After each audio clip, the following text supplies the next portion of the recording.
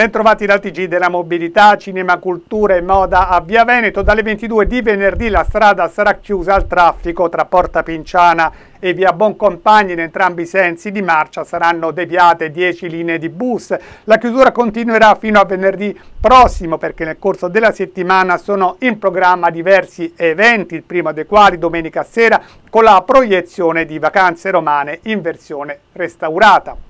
Cantiere per lavori di manutenzione stradale dalle 7 alle 17 di domani, piazza Manfredo Fanti verrà chiusa al traffico tra via Filippo Turati e via Principe Amedeo, deviata la linea 71.